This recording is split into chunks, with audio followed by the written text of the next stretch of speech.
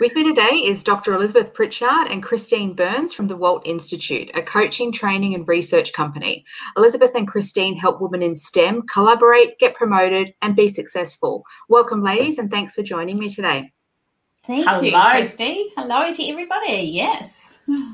So we'll get to how you started the Walt Institute shortly, but I first wanted to talk to you both about how you got here. So Elizabeth, you completed a Doctor of Philosophy at Monash University and a Masters of Health Sciences at the University of South Australia. And Christine, you completed a Bachelor of Arts and Postgraduate Diploma of Sports Psychology at Massey University. So tell me, what were your plans post-university the first time? Um, play hockey, have fun, and see what happens.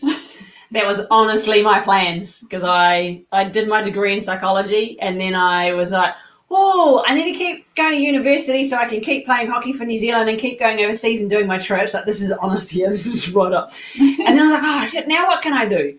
And so I basically stayed at university because it was the easiest thing to do. So six years later, after I'd done all the stuff, and then I was like, oh, what do I do? And then I sort of liked the whole sport, exercise, science thing. So I went and started working in a gym so that I could still go to hockey trainings and still keep fit.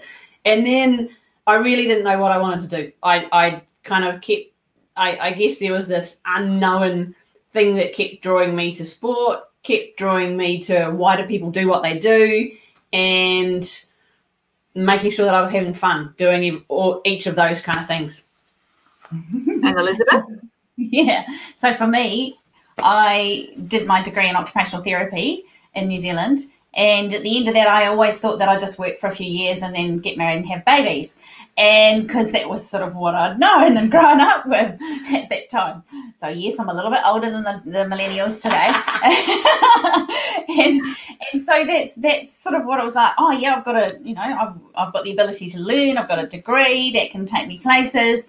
And then I became a full time mum and decided, hmm, this wasn't actually for me being a full time mum. So I then began my career in occupational therapy, which spanned over 25 years, and then moved into education and research. And so it has taken me incredible places and spaces mm. and times, and I've been able to coach and train incredible people in Australia, New Zealand, and indeed over the world as well because of what I had invested way back then. So amazing journeys, and I think it sort of points out that you don't have to know where you want to go. You know, when you finish when you finish school and you're starting at your university no, sort of journey, no, because there's very few people that stay on that path. But I did mm. want to ask you, Christine, about sport. So, did you always play hockey, and how did you become, you know, a representative in New Zealand, and how stressful was that? Um, I I started playing hockey in my last year at school. Um, the I had been playing soccer and playing cricket and softball, and I've just been playing lots of sports. And then I started to have trouble with my knees, and the doctor said to me, "Hey, look, you're going to have to stop because we need to work out what's going on." And I was like, mm, "That's not going to happen." And then the hockey team at school, they were like, "We need a goalie." I'm like, "Yeah, anybody can stand in goal and kick a ball. Like seriously, that's you just like stop the ball and kick it." And then I they gave me all this gear and I had no idea what to do with it. And I was like, how do I put this stuff on? And so I put the gear on and I was like, hey, it's kind of cool. And then I went to a couple of trainings and I'm like, I'm kind of good at this. Like it's not too hard for me to keep learning and keep doing this stuff. And so I, I adapted to it very quickly. Within my second year of playing, I was in the New Zealand indoor hockey team.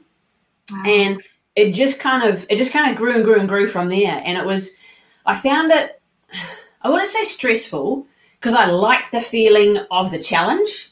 Um, I mean, even times like I, I think I, I was in the third or fourth year of playing, I was pulled into what we call the Central Districts team. So it was sort of the bottom of the North Island and the top of the South Island. And I was like, oh my gosh, like I'm playing with these people that I used to watch and go, holy shit, they're really good. And then the next thing we were playing against Argentina and England and all this kind of stuff. And I'm like, wow, this this is me. And I, I I kept rising to the challenge and I and I liked the challenge, which it might sound a bit weird to people, but it was that thing of going, I liked that feeling and I and I kind of thrived on it. And and so for me it was that thing to go, I love being in a team, I love being in a group, I love having something that stretches me and pretty much how how I bring myself to coaching and training is how I play sport. so I have to be in the right mindset to turn up to do any performance. I want to bring the best out in the people that I work with, and I'm going to give them everything I possibly can. Like my my motto when I was on the turf playing in goal was that you will not take me off here unless you take me off in a box. So I, I had many injuries, and, and it's not a claim to fame. It's quite stupid, really. But uh, now that I look back on it, but at the time it was like I just gave everything to every single game. Like I would be there, I would give everything I've got, and then I'd sort myself out later. And and pretty much that's just kind of what I do now, really, for each client, for each group, for each organisation. Yeah.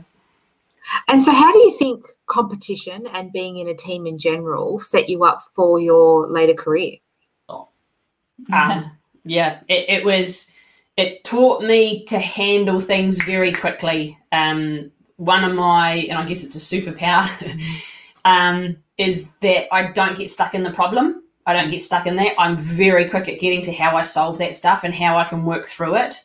Um, so I don't deny what's going on. I see it for what it is. You know, I mean, if, if I don't get selected for a team, and there was there was quite a few teams that I didn't get selected for, I'd have my nano tanty. I would be like, you know, what do I need to do to get in there? What can I do to improve myself? And I would go and I'd talk to the people that were in the know. I'd push myself to be able to do it mentally, physically, emotionally, and then I'd be like, right, when's my when's my opportunity to be able to get myself back out there and show that I've got the goods, and that that gets me to to thrive in, in in those challenging situations. And being in a team is everything to me. Like I you can't the thing is you can't do anything on your own. As much as people go oh i'm self-made blah blah blah blah blah sure. But who bought your product? Who who helped you out in the background? Who cooked your meals? You know simple little things. Mm. Who who did the you know little things for you so they're all part of your team and for me my team is my team is everything you know like we all have to be on that same page but all bring different strengths to the situation and I, I, it's why I don't like a you know a vertical hierarchy. I'm very much in a flatter hierarchy because everybody brings their strengths. I mm. can't do their job, they can't do mine. We might be able to do little bits, but that's how we bring our expertise and make a, a real solid unit. Is is the only way for me to be able to go forward. Yeah, I think teamwork definitely does help you with that. It's um, oh. it makes a big difference, doesn't it? Especially yeah. to know your sort of place in, in, in a way. Yeah. Now, I wanted to ask um, you, Elizabeth. So, obviously, our formative years really guide us into how we're going to be as adults. And, you know, you were the youngest of nine children, and you said that you were bullied and sexually abused as a child. So, I mm-hmm. don't really want to go too dark here, but I think it's important to talk about it and how those um, situations formed the person that you became. Mm. I think for many years, I thought that those were part of me. Mm. And it wasn't until probably 10 years ago that I recognized that the past doesn't define me, but it is part of me. And I wouldn't be here today mm-hmm. doing what I do and the person I am today without that past. And so I've come to terms with it. I've come to accept it. I've come to recognize that as shit as it was, that those experiences have absolutely totally shaped who I be. Mm. And if I wanted to stay back there and hold myself back in the limiting beliefs that I had, I could absolutely. And I did for many, many years, for decades. I held myself back in those limiting beliefs. And those things that affected me were things like I can't be seen. Nobody wants to listen to me. I'm not good enough. Mm. Why should they?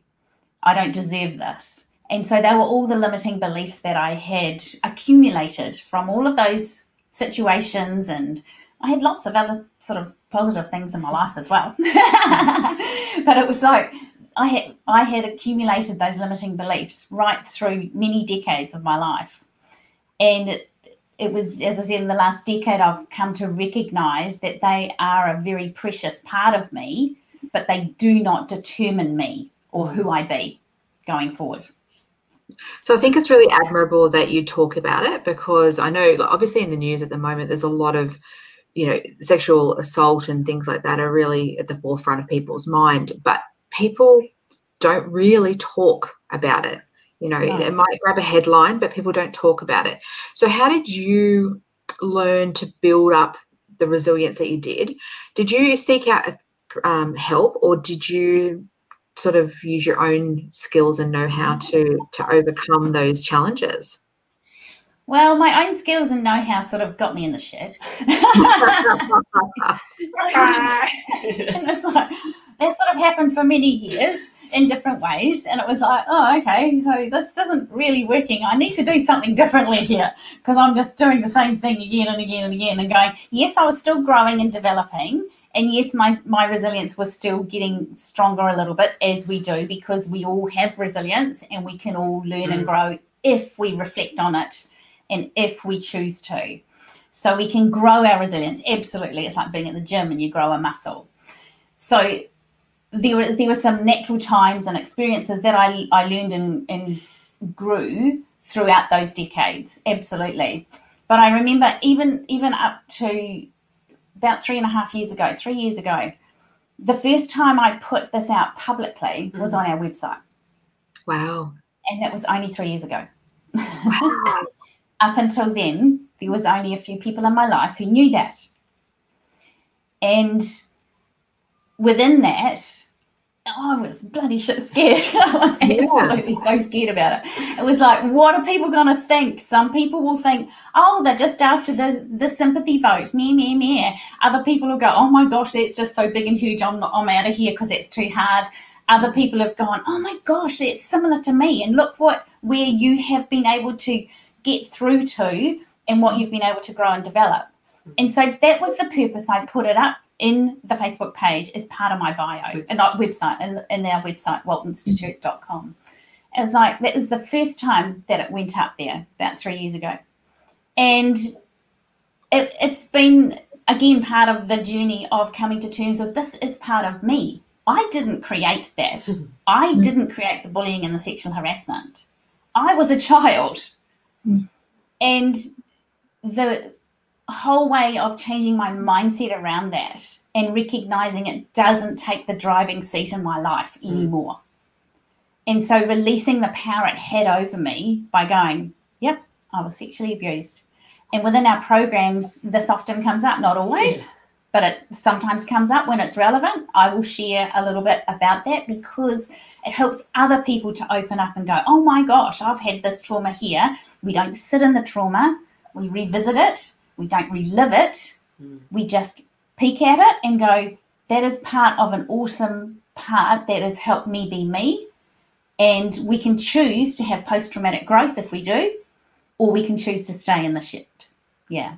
So yeah, I think it's really good that you do talk about it and you know do share it within your programs because you know Christine, obviously you're able to share you know this super positive experience in, in your youth as you know from sportsman perspective, but then when we talk about something that's not so you know so great and not so um, I suppose comfortable to talk about, people want to shut down, and you know it, it's quite sad because it, it doesn't matter what we experience in our past; it all forms who we are. So mm-hmm. yeah, I, I think you're doing fantastic and keep on sharing. It's it's wonderful. Thank you. Now, Christine, I just wanted to touch on quickly. You're currently authoring a book. So yep. could you tell me a little bit about that? Uh, the book came about um, 2016, 2nd of December, uh, 2nd of November, sorry. I had a cancer diagnosis and the the way I handled it was now looking back on it and sort of, sort of, you know, stepping back from things. It's like, wow, you know, I admit I, I handled it differently to what many people do, and so the whole point of me doing that book in a way is for me to to share opportunities, to share possibilities, to share different ways of dealing with the crap. Um, and so it doesn't matter what for me. Yep, it was a cancer diagnosis, um, and then went through all the treatment, all that kind of stuff and the way I held my mindset, the things I did on a day to day basis, the way I set myself up, you know, same kind of thing as getting ready in the morning to go to treatment. It was like I had my pre performance routine, you know, and I set myself up like I was going to be there for game time, ready to go, no matter what was going on, no matter how knackered I was, no matter how sick I felt, none of that stuff. It was, I didn't allow that to determine, like Elizabeth was saying, I didn't allow that to determine who I be because I am the person that is able to go, I'm going to put this performance routine, pre performance routine in place, and this is what I'm going to do. And here's my focus, here's my mindset. Didn't always work. Um, there were slip ups, there were trips. And it's that kind of stuff to share with people is not so much the story of going through cancer. Um, it was how I dealt with it, how I was able to put processes and systems in place. And it's what, I mean, it, I, I, I practiced, you know, all I did really minimize the whole thing. Not really, but I I just practiced what we preach. And mm. and that was the coolest thing was like going, I did this, I did this, this is what, what the outcome was, here was the story around it. So it's kind of like a I guess a teaching memoir. Um, and it's basically about limitless possibilities when you're going through adversity. And so that's what I it, it it's that experience with the how to's. And and that's what the book's about. Yeah, because I was going to ask you, do you did you feel that when you were going through those cancer treatments and the the way that you dealt with it, did you think that it was sort of just like putting on a mask? But it sounds more like it was just inherently who you are. It's how you deal with things and how you cope with things, and you just yep. you know you ran straight through it. You charged it. Is is that what you think? Yeah, it's um, I mean the whole thing that I really hung on to was to go, how can I be my best version? Every single day. And some days I was feeling really good, other days I was definitely not so. But I was like, even if I'm at 40%, how can I bring my 40 out of 40 for this particular situation? And so, I mean, everything that we do is based on the science of happiness, the science of well being. So I went, right, what bit of that can I implement today? How can I bring that bit into today? How can I get my mindset to be where it needs to be? Um, you know, I, I, still suffered a lot of the side effects, but there were also many times where I would go for my checkups and they'd be like, okay, so at this point, you should be experiencing this, this, this, this, and this. And I'm like, I've got those two, but I haven't got those two. Like, what? Mm-hmm. How? What? And it was like, mm-hmm, the power of the mind, you know, and it's because I, I just kept being myself. I mean, there was time I was laughing and joking you know, many a time. Like Elizabeth would come in with me as well sometimes to treatment, and we'd be walking in the door, and you know, like you walk into the hospital and you turn left and you go to Peter Mac Cancer Centre, and I'm like, the first time I was in there, I had surgery. I'm like, oh shit, I hope I never have to go there. And guess what? I was welcome there many days. And and so it was like we'd always walk in there, be laughing and joking. Even when I was on my own, I'd be laughing and joking with people in the waiting rooms, laughing and joking with the staff. And it was like why not? Why, why am I going to sit in there and cry and get all upset and me, me, me, go to the garden eat worms, which might sound a bit tough for some people, but it's like me is to have fun. It's my top value. My parents were Scottish and, you know, like life was fun. Life was tough, you know. Many a day, mum would cry herself to sleep, wondering how the hell we're all going to afford things and sort stuff out.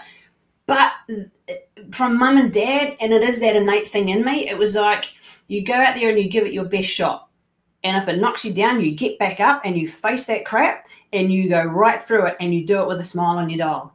And and same thing, I built my team around me. And my team, my medical team, uh, I love them to bits and they love me to bits. So it's we get the best out of each other. And that was what the one thing that I knew is that if I can be my best self, they're going to be their best selves and I'm going to get the best. Yeah. It's such a good mindset to have. It's awesome. Yeah. Yeah. Now let's move on to the Walt Institute. So you founded that together for about four years ago. So mm-hmm. firstly, I wanted you to talk me through why you decided to do this and why you decided to come together and to, and to found the Walt Institute. But first of all, how did you meet? How did you become friends? Where's this story going?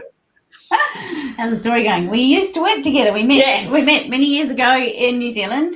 Uh, Christine was running the the um, nationally recognised exercise science and sports psychology program in the mm-hmm. institute that we both ended up working together in. So, and mm. I was doing the um, health leadership program for managers in health, and so I that was my first part parting from occupational mm. therapy practice into the world of education. So I joined this whole big world of tertiary education and, and, like, and I met all these people and Christine was one of them.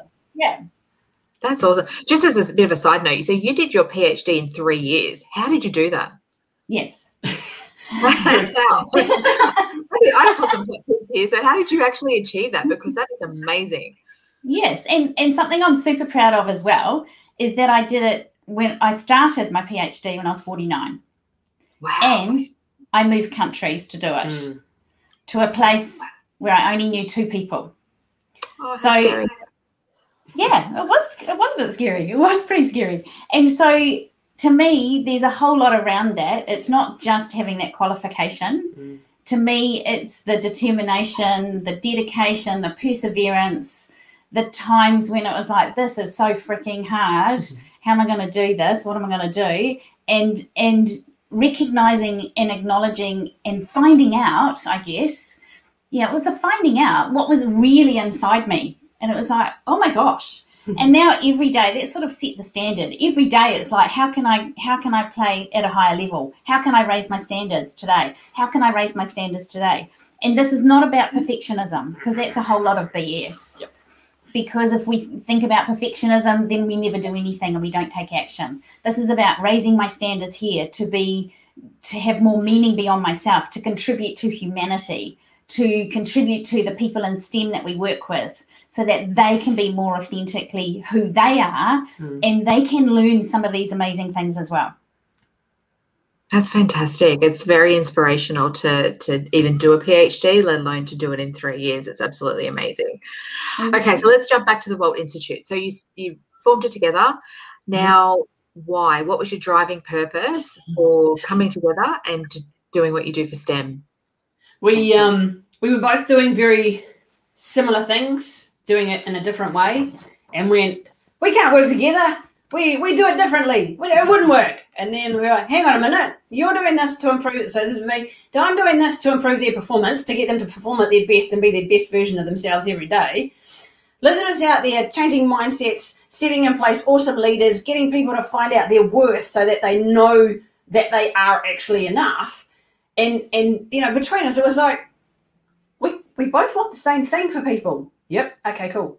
We do it differently. Hey, that might work. and then we went, oh, maybe we should just put this together. And then we were working with, we were at a um a pitch. So we were delivering a pitch one a day at one of the days, and this random guy was there. No idea who he was. Tapped me on the shoulder, and he was like, "Oh, Christine." And I had just done the the business pitch, and we wanted mentors and some some funding and stuff as well to get going. Tapped me on the shoulder. I'd gone first, second, or first, whatever it was. And he says, "Oh, Christine, just want to talk to you. Um, I'm, you know, so and so, lurly lure." And I was like, oh, "Okay, cool." Half an hour later, he gives us his card and he says, "How about you come around and meet, you know, my partner as well, business partner?" And he said, "Because we really like what you do. We work in STEM, so science, technology, engineering, math, and medicine." And we were like, "Oh, okay." and and then it was, uh, and he's like, "There's a real gap in STEM for what you do." And then we started going, "Hey, this is kind of cool." And the more that we've stepped into it, the more that we've worked in there, like I'm like a secret closet geek.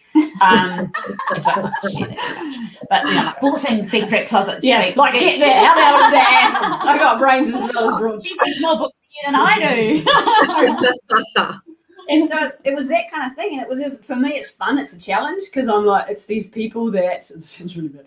These people that are hugely, highly skilled in what they do and have amazing qualifications. Their skills and techniques and what they do and how they can change the world. It's freaking awesome.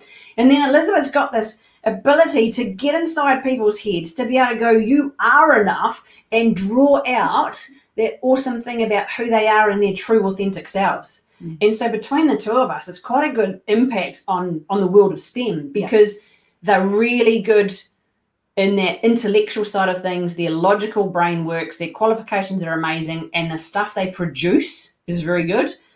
But for them as themselves, as an individual, as a person, as a human being, and who they be, nada. Mm-hmm. And so that's that's our whole thing of getting in there.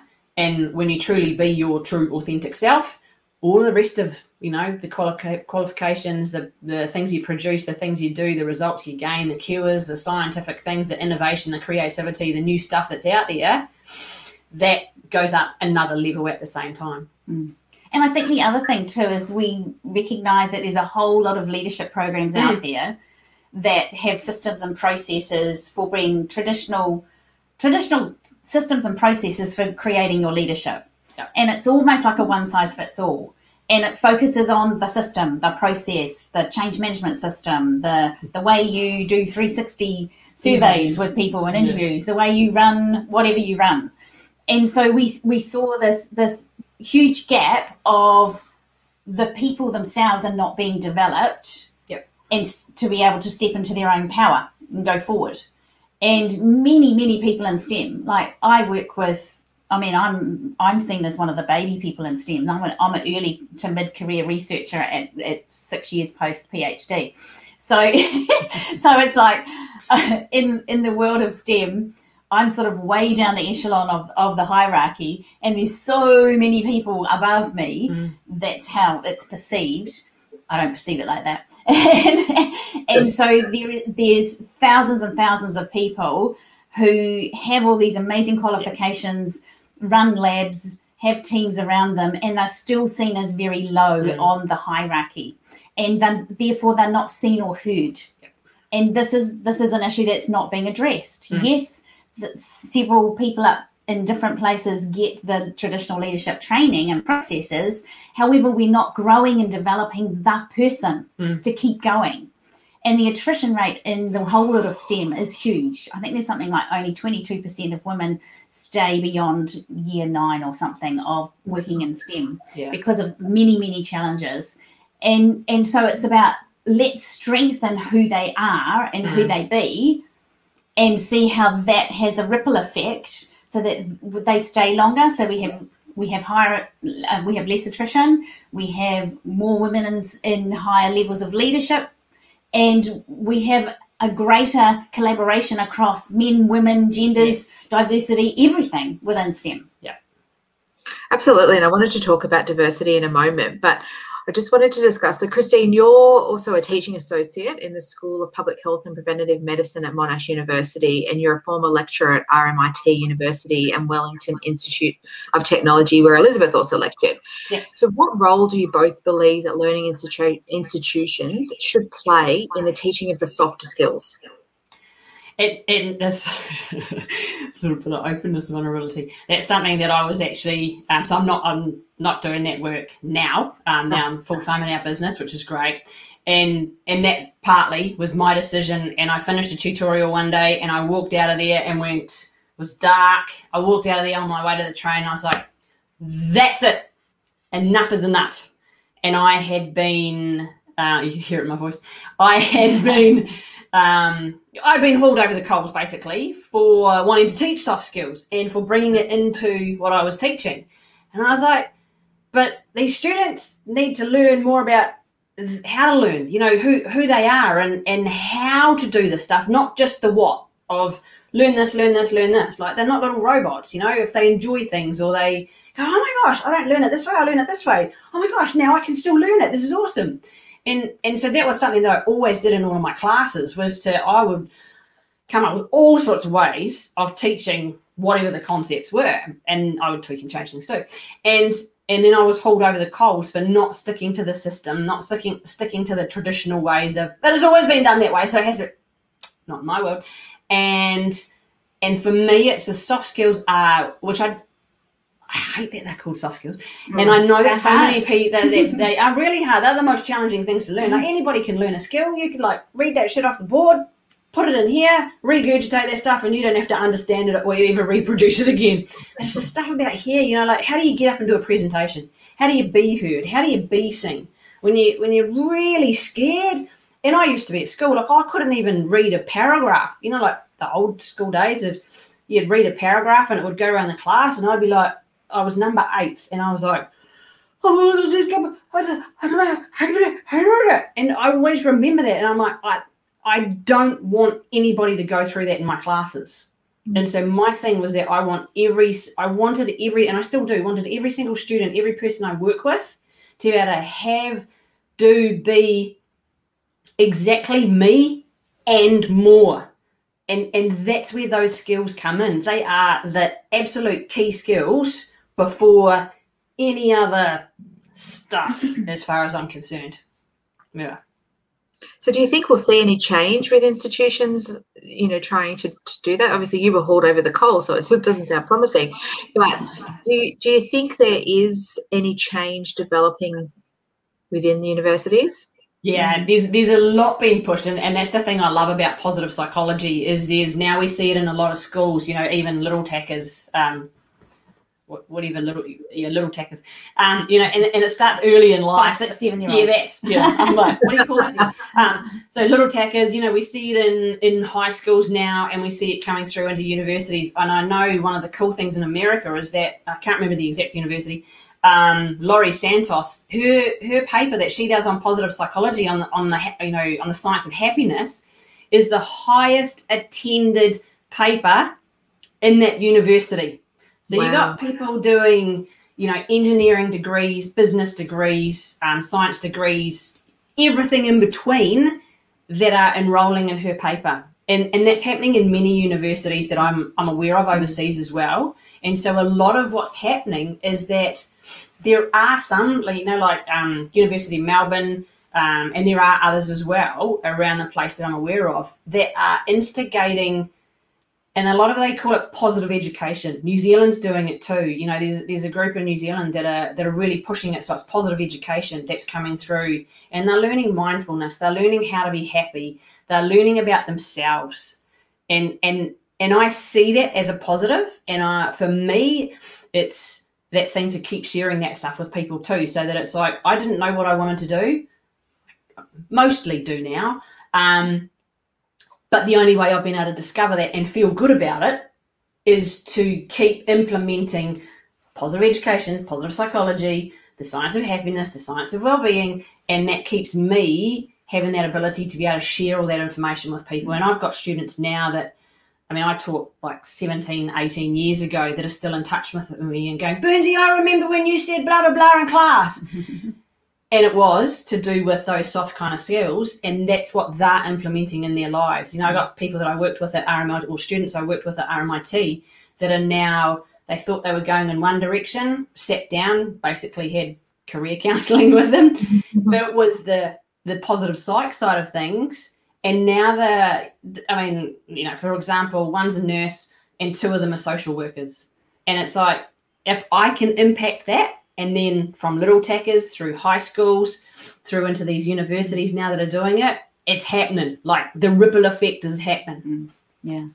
That's really important because, as you said, if we've got women leaving after sort of nine years, that's really concerning. That, that's a really high attrition.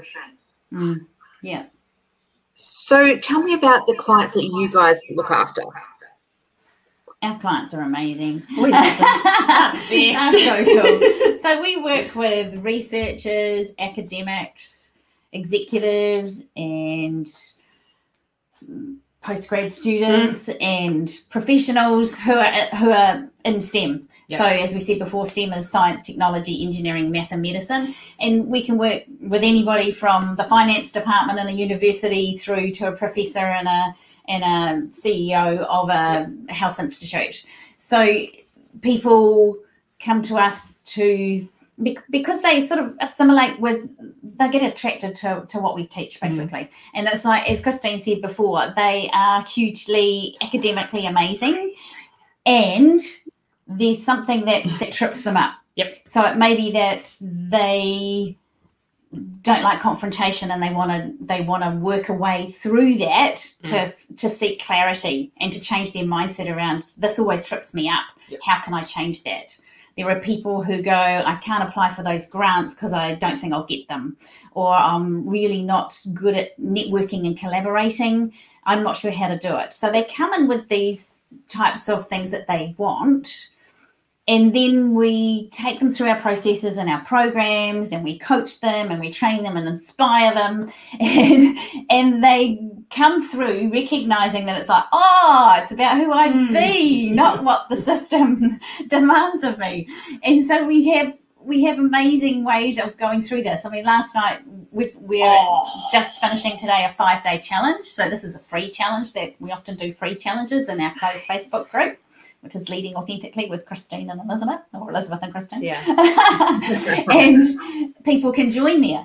And we put a whole lot of free things in there. And so we're partway through our five day live challenge this week, which finishes today actually, where we give away a scholarship as well. Mm. It's so exciting. And and we've just had the most amazing changes and metamorphosis from people Yep. by giving a little bit of training 30 40 minutes a day giving them a challenge. They do the challenge. They take action because successful people take immediate action. Mm.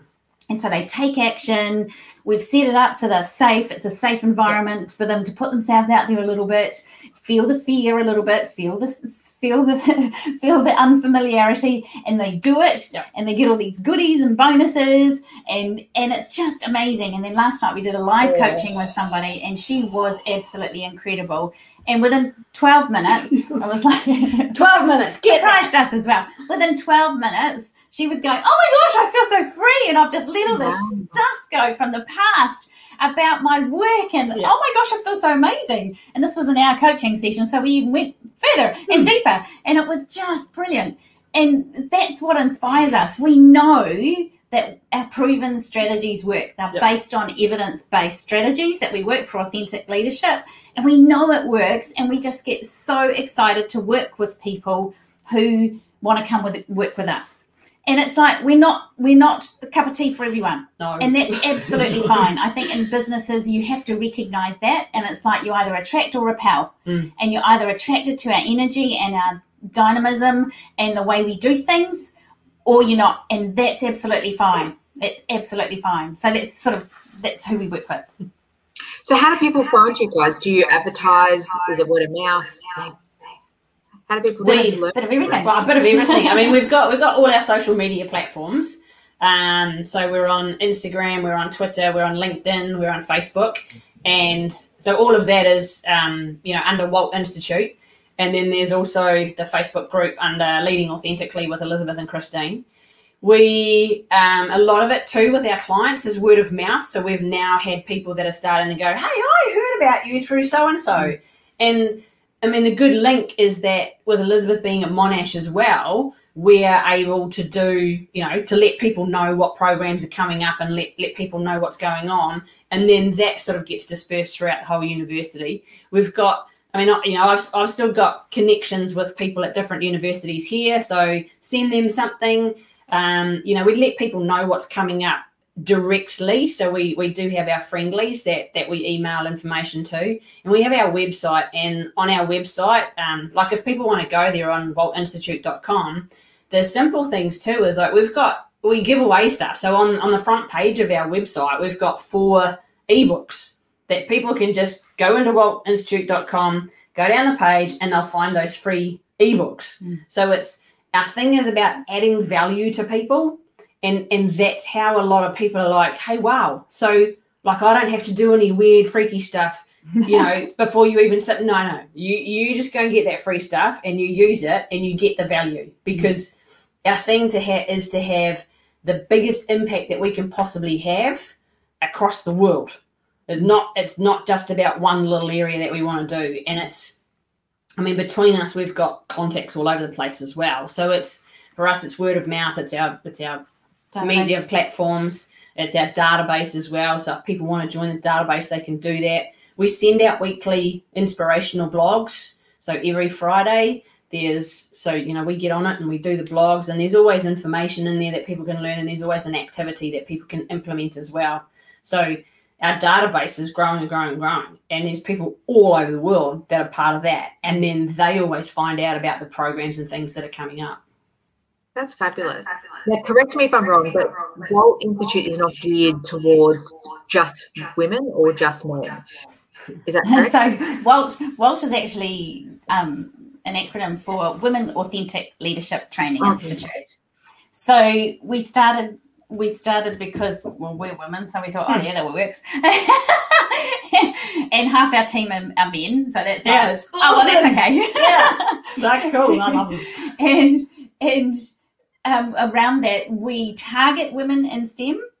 However, fifteen to twenty percent of people we work with are men. Mm. So we don't exclude anybody. No. We target women because as a business you need to target your niche avatar.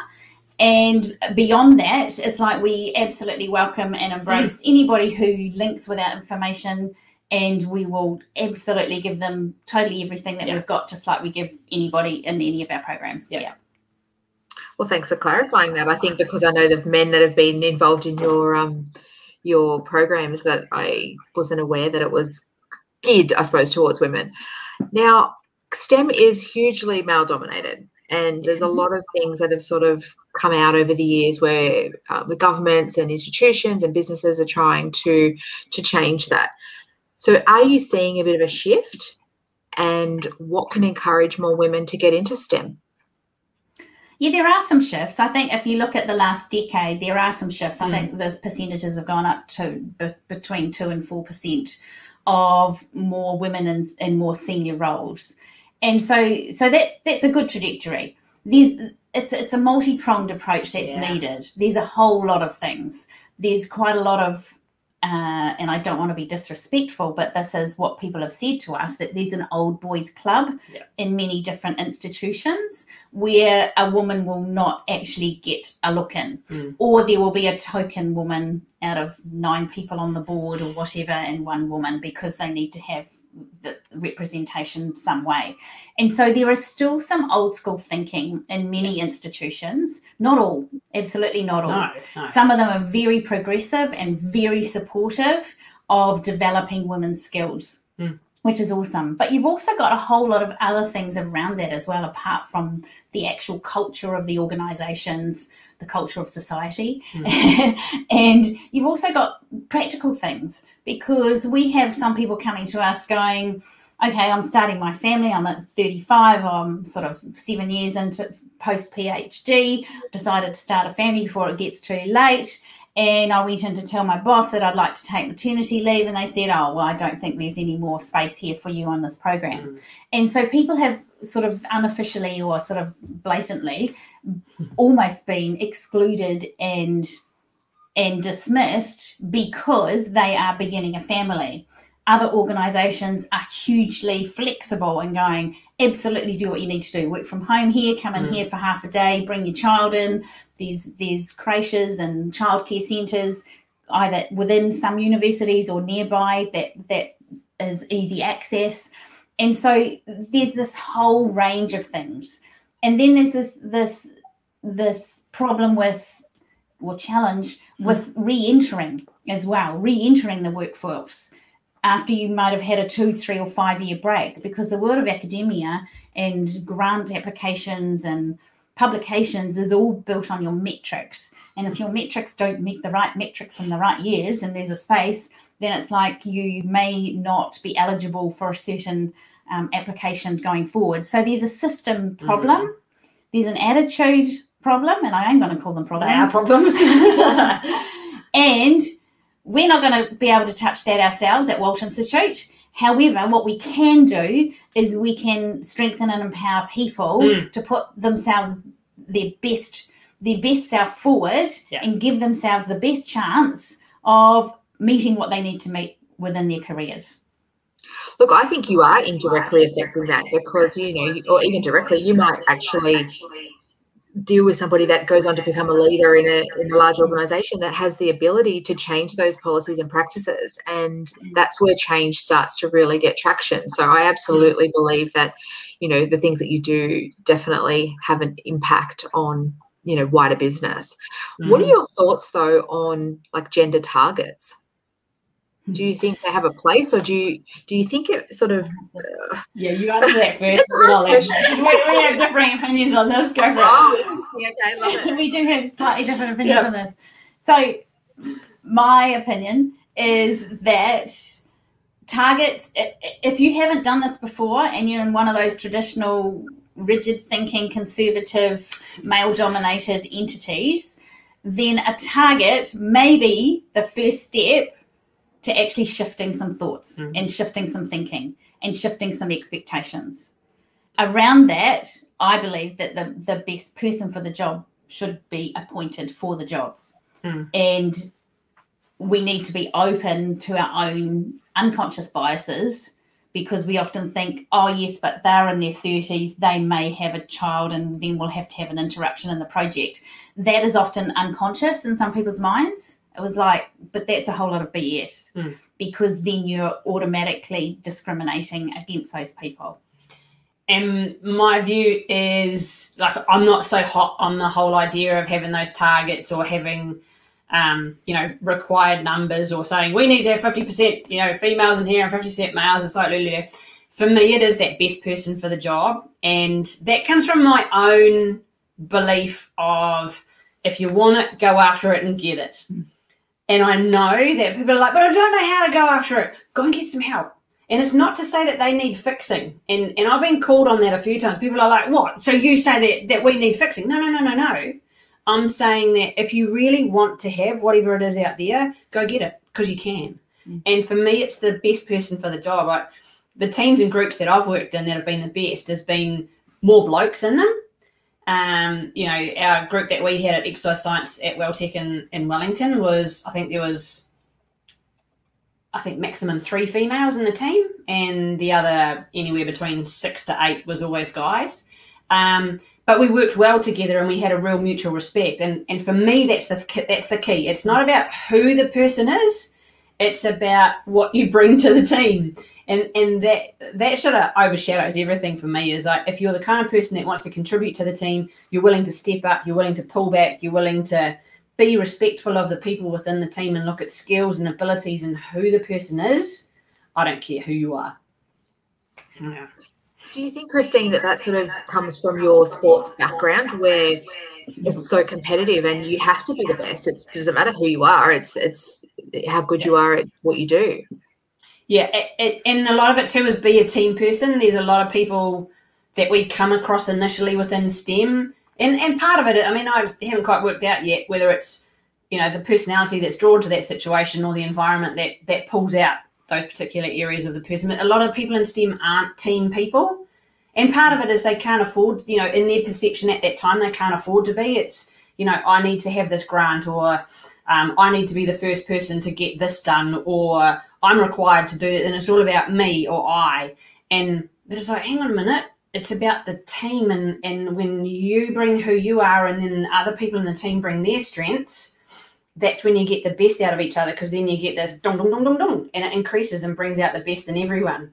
And and yeah, it is. I mean, my the more that I do this, I see how much team is a thing for me, and that's one thing that I plug with everybody we work with, any groups that we work with. My thing is that we form a team first, and then we go. And yeah. here's the culture of the team. And if you want to play in this turf, you're welcome.